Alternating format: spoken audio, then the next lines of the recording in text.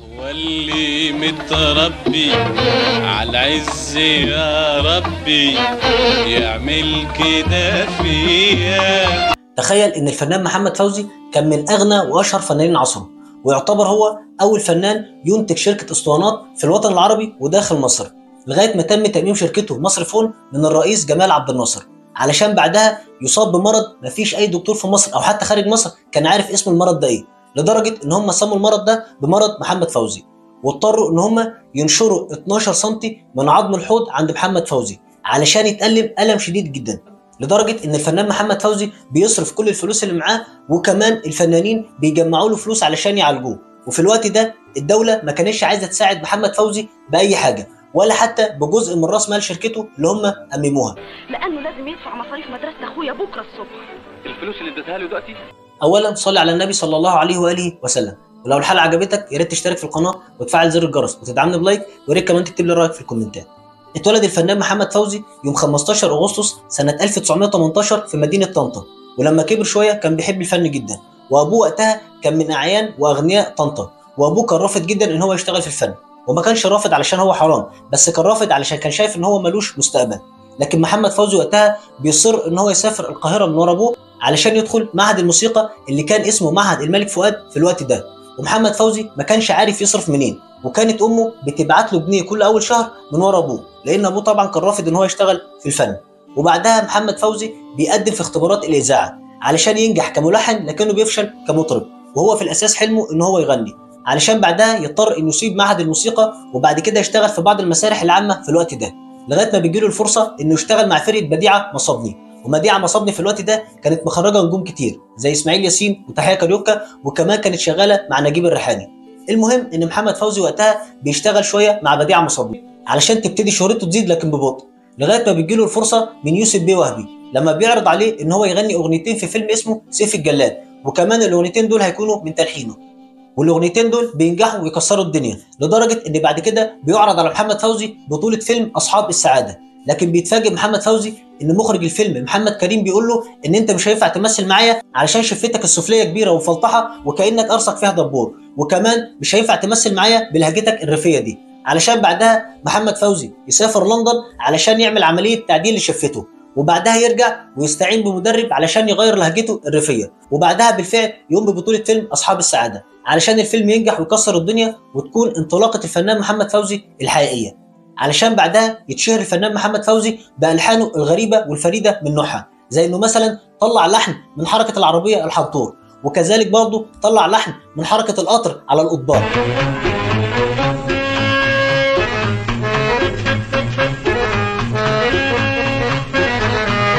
وكذلك برضه الفنان محمد فوزي كان من أشهر ألحانه واللي تعتبر أغلبنا عارفها لغاية وقتنا الحالي أغنية يا مصطفى يا مصطفى.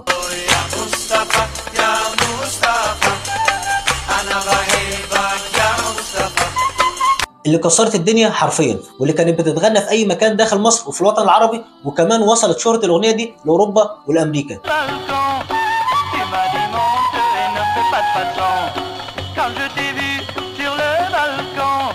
لكن للأسف تقريبا كده اتنصب على محمد فوزي في حقوق الأغنية دي من واحد اسمه بوب عزام وبوب عزام ده خد الأغنية دي بسبب إن محمد فوزي ما كانش عارف يثبت إن الأغنية دي بتاعته وألحانه برغم إن كل الناس كانوا عارفين إنها بتاعته من ألحانه لكن محمد فوزي دخل في خلاف مع الدولة وقتها لأن هم كانوا شايفين إن الأغنية دي إن محمد فوزي كان بيتريق على مصطفى باشا النحاس اللي كان يعتبر رمز من رموز مصر وقتها.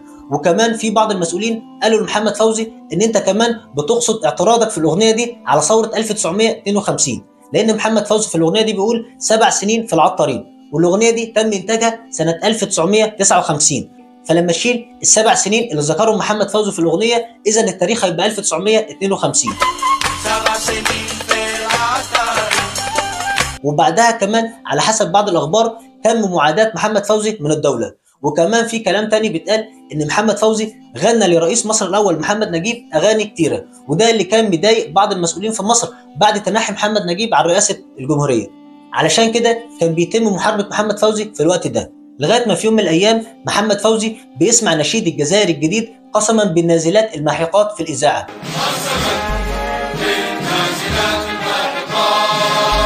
لكن المسؤولين في الجزائر في الوقت ده كانوا بيدوروا على أي ملحن سواء مصري أو عربي علشان يلحن لحن قوي للنشيد ده. لغاية ما تطوع محمد فوزي وقتها وقال لهم أنا هلحن نشيد الجزائر. وكمان بعد ما لحن النشيد وعجب المسؤولين في الجزائر رفض إن هو يتقاضى أي أجر عليه. علشان كده المسؤولين في الجزائر كرموا الفنان محمد فوزي بإطلاق اسمه على معهد الموسيقى في الجزائر وكمان كرموه في مهرجان رسمي من دولة الجزائر. لكن حصلت مفارقة غريبة جدا مع محمد فوزي بسبب النشيد ده إن هو بعد ما خلص النشيد أرسلوا النشيد لفرنسا علشان يطبعوه على اسطوانات. والغريب إن أساسا المفروض إن الجزائر كانت بتحتفل بعيد استقلالها من فرنسا فإزاي يعملوا نشيد الجزائر في فرنسا؟ فبعدها جت فكرة محمد فوزي انه ينشئ شركة أسطوانات خاصة داخل مصر وداخل الوطن العربي. وبالفعل محمد فوزي باع كل ممتلكاته وقتها. وكمان استعان بالفنانة مديحة يسري اللي برضه جابت له أغلب ثروتها علشان تشاركه في الشركة دي. وكمان دخل معاهم الصبان كشريك ثالث في الشركة. علشان في وقت قصير جدا الشركة تزيد شهرتها وتزيد تعاملاتها مع أغلب فنانين مصر وأغلب فنانين الوطن العربي. علشان بعدها الفنان محمد فوزي يبقى حرفيا من أغنى وأشهر فنانين مصر والوطن العربي. لكن بعدها تأتي الرياح بما لا تشتهي السفن. في يوم من الأيام الفنان محمد فوزي وهو داخل شركته الصبح يتفاجئ إن في واحد حاطط رجله على مكتبه وهو بيفتش في أوراقه وبيقول له إحنا اممنا شركتك يا فنان. وأنت حاليا موظف داخل الشركة دي وهتتقاضى 100 جنيه. ويلا روح على مكتبك. علشان كمان يتفاجئ الفنان محمد فوزي إن مكتبه الجديد جنب حمامات الشركة وجنب ساعي البوفيه في الشركة. علشان يرجع وهو منهار جدا لمراته كريمة في البيت ويقول لها إحنا انتهينا. إحنا حاليا مش هنقدر نعيش في المستوى اللي كنا عايشين فيه قبل كده. لأن شركتي مصر فون تم تأميمها. علشان بعدها يبتدي محمد فوزي يحس بألام شديدة في ظهره وفي رجليه. ويعيش بعدها على المسكنات. وبيروح لأكتر من دكتور داخل مصر. لكن كلهم بيعجزوا إن هم يوصفوا مرض أو يشخصوا مرض محمد فوزي. علشان بعدها محمد فوزي يسافر على نفقه بعض أصدقائه الفنانين لبريطانيا والمانيا علشان يتفاجئ محمد فوزي إن برضه دكاترة بريطانيا وألمانيا مش عارفين يشخصوا مرضه وكمان بينشروا له 12 سم من عظمة الحوض عنده بسبب الألم الشديد اللي كان بيحس بيه. لكن برضه بعد نشر 12 سم من عظم الحوض لمحمد فوزي برضه ما كانش بيرتاح من الألم الشديد اللي كان حاسه. علشان بعدها يرجع الفنان محمد فوزي لمصر مرة تانية ويعيش أكتر من خمس سنين على المسكنات. لكن برضه بدون ما يرتاح من الألم الشديد اللي كان بيشعر بيه.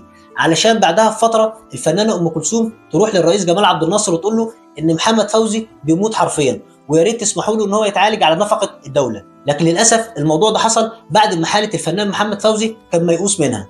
وفي آخر أيام الفنان محمد فوزي قال لزوجته كريمة إن هو هيموت النهارده وإن هو كمان بيوصيها إن هو يدفن تاني يوم اللي كان الجمعة. وجنازة محمد فوزي كانت تعتبر من أطول الجنازات في تاريخ مصر.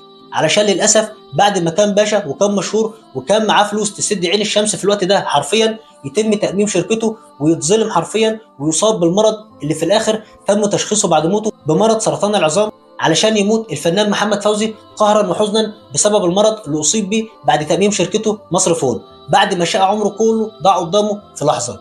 ومات الفنان محمد فوزي وهو عنده 48 سنة. ربنا يرحمه ويغفر له ويرحمنا جميعا.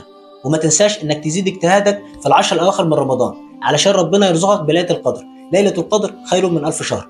ربنا يرزقنا جميعا أفضل وأعظم من أجر في شهر رمضان المبارك وفي ليلة القدر جميعا يا رب العالمين. لو الحلقة عجبتك اشترك في القناة وفعل زر الجرس ودعمني ب like ويا ريت كمان تكتب لي رأيك في الكومنتات. السلام عليكم ورحمة الله وبركاته.